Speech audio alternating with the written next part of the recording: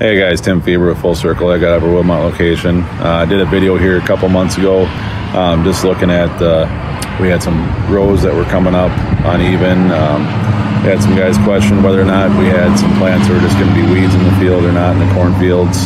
Uh, we had some rain. We had plants coming up two weeks later um, than the stuff that was already up. I would say 70% of the field came up, and the other 30% come two weeks later. Uh, we had rows where there was 40 to 50 feet of plants that did not come up in the same row. Um, here's just a kind of a visual what those spots are looking like right now compared to the spots that partial uh, stands were coming up right away. Uh, here's just a quick visual what we're seeing. So just referring to my video from earlier this spring, here is the bottom stuff here is this is stuff that come up on time. Um, we had some that come up a few days later to a week later. Um, stuff that come up right away. Uh, really nice looking ears. We're starting to see some dent out there.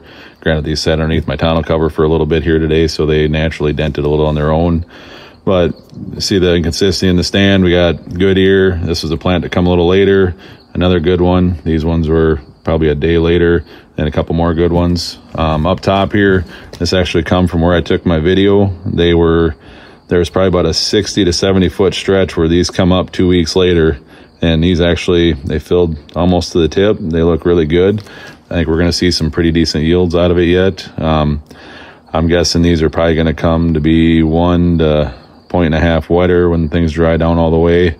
Uh, we're starting to see some starch lying in the top ones there that come a little later.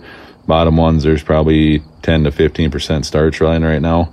So just kind of a visual on what that spot looks like from this spring um, kind of excited to see how these yields actually turn out. And yeah, thanks for listening.